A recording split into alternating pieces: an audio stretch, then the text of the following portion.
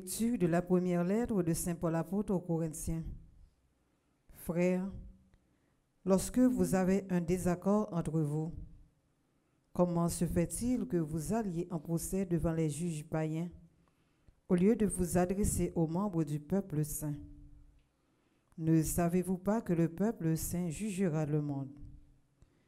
Et si c'est vous qui devez juger le monde, Seriez-vous indigne de juger des affaires de moindre importance? Ne savez-vous pas que nous jugerons les anges de Satan? À plus forte raison, les affaires d'ici-bas. Quand vous avez des affaires de ce genre, pourquoi allez-vous prendre comme juge des gens que l'Église compte pour rien? Je vous dis cela pour vous faire honte. N'y aurait-il pas N'y aurait-il parmi vous aucun homme assez sage pour servir d'habitude entre ses frères? Mais un frère est en procès avec son frère, et cela devant les juges qui ne sont pas croyants. C'est déjà un échec pour vous d'avoir des litiges entre vous.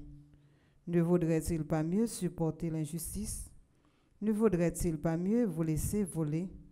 Au contraire, c'est vous qui pratiquez l'injustice et le vol, et cela vous le faites à des frères.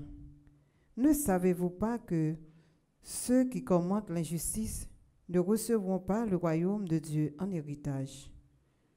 Ne vous y trompez pas. Les débauchés, les idolâtres, les adultères, les dépravés et les pédérastes, les voleurs et les profiteurs, les ivrognes, les diffamateurs et les escrocs ne recevront pas le royaume de Dieu en héritage. Voilà ce qu'étaient certains d'entre vous. Mais au nom du Seigneur Jésus-Christ et par l'Esprit de notre Dieu, vous avez été lavés, vous avez été sanctifiés, vous êtes devenus des justes. Parole du Seigneur.